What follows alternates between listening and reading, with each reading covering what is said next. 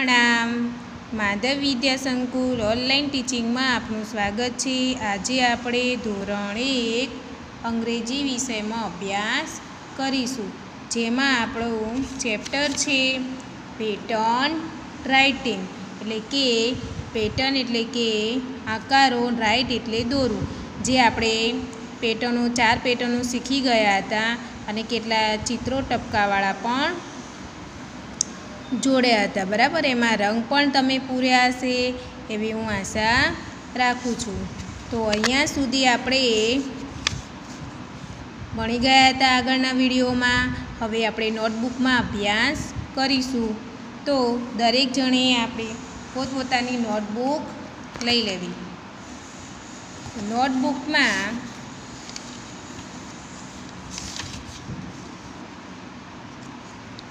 Chapter one pattern writing આ રીતે તમારે ટાઇટલ લખી દેવાનું હેડિંગ અને ટોપિક નીચેના જોડકા જોડો. એટલે કે આ રીતે જોડકા આપેલા હશે, તો અહીંયા એ આપેલો છે, તો સામેની લાઈનમાં એ ક્યાં છે, એ જોઈને આપણે જોડકું જોડવાનું. તો અહીંયા એ આપેલો છે, તો સામેનામાં આ રહ્યો એ.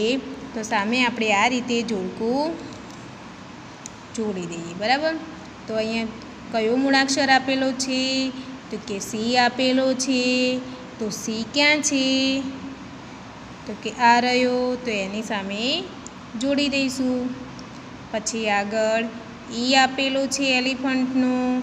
તો ક્યાં છે? તો કે પ્રથમ પહેલો રહ્યો, તો એની સામે જોડકું જોડી દેવાનું. પછી ફિશનો એફ આપેલો છે. તો એ પણ છેલ્લે આપેલું છે, તો એને જોડકું જોડી દેવાનું. અને છેલ્લો જી છે, તો જીને જી સાથે જોડી દે. આ રીતે તમારે જોડકા જોડવાના છે. હવે આગળનો ટોપિક છે, અલગ પડતા મૂળાક્ષર પર ચોકડીની નિશાની કરો. એટલે કે આપણને બધા અહીંયા એ એ આપેલા છે, અહીંયા બી, આઈ અલગ પડે છે. તો આપણે શું કરીશું?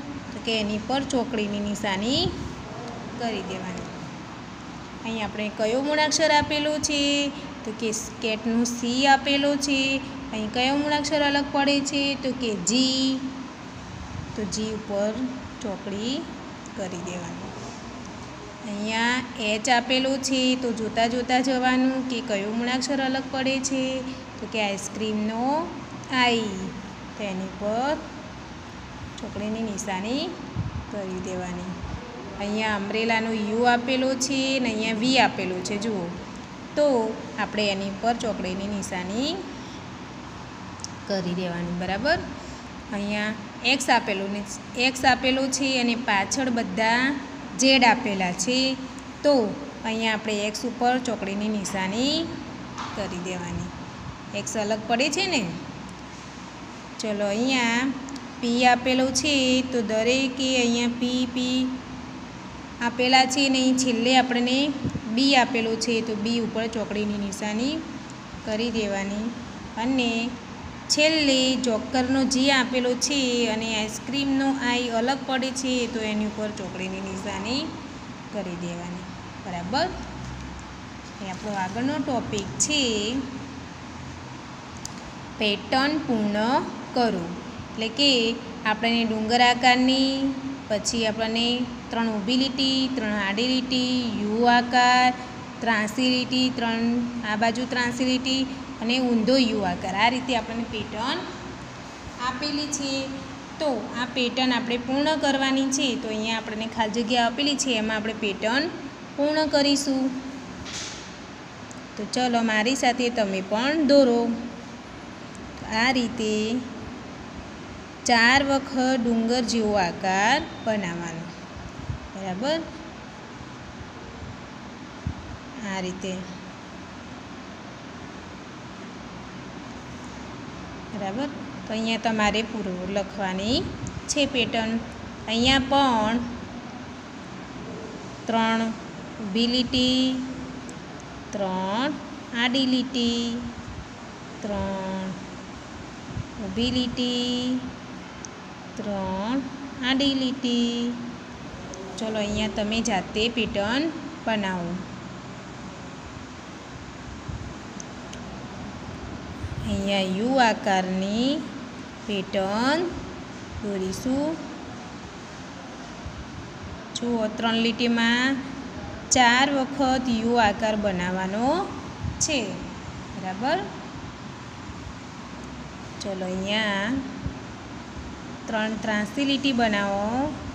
આ બાજુ ત્રણ ત્રાંસી લીટી દોરો.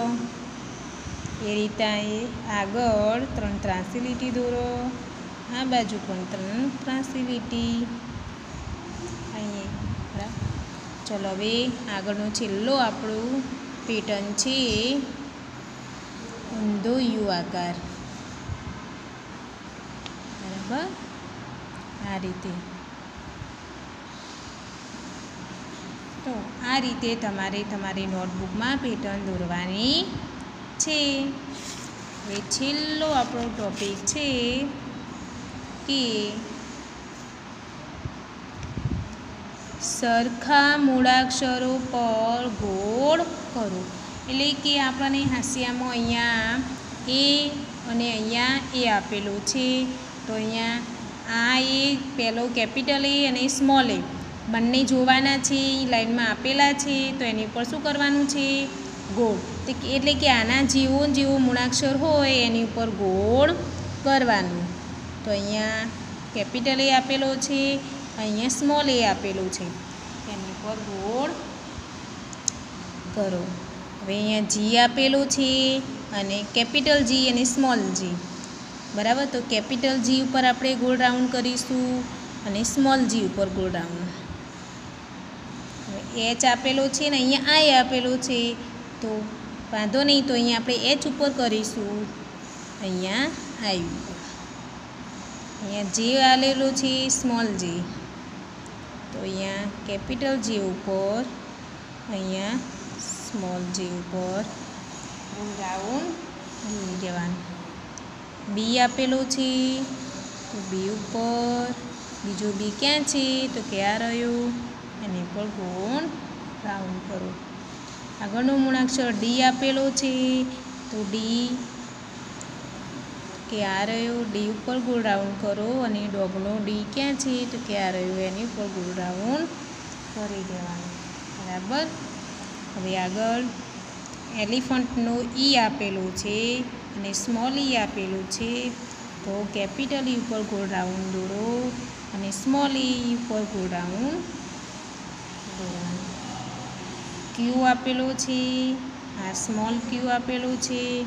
તો બંને પંખી ઉપર પર ગોળ રાઉન્ડ દોરી દેવું આ રીતે તમારે પણ તમારી નોટબુકમાં સારા અક્ષરે લખવાનું છે અને હોમવર્કમાં પણ તમારે તમારી નોટબુકમાં ફરીથી ચાર જે મેં ચાર ટોપિક ભણાય છે, ચારેય ચાર ટોપિક તમારે તમારી હોમવર્કની નોટમાં લખવાના છે. બરાબર?